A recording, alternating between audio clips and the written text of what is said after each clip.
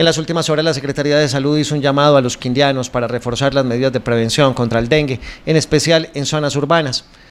En lo recorrido de los diferentes años se han eh, presentado incrementos. En el año 2017 se presentaron 593 casos.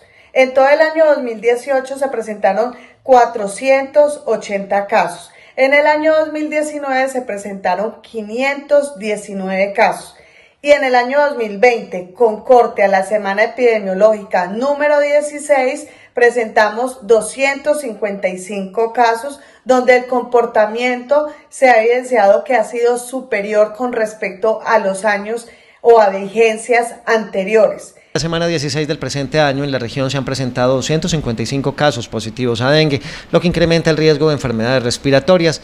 Eh, hemos tenido muy presente que en este tiempo de confinamiento todas las personas no solamente pensemos en la prevención del coronavirus o COVID-19, también tenemos que eh, emprender acciones preventivas donde desde nuestras casas debemos de limpiar muy bien las albercas, los reservorios de agua, los tanques. Por último, la directora de la Secretaría de Salud explicó que el dengue es una enfermedad viral que afecta especialmente a niños y con mayor riesgo a las personas adultas. Alex Morales, CNC Noticias.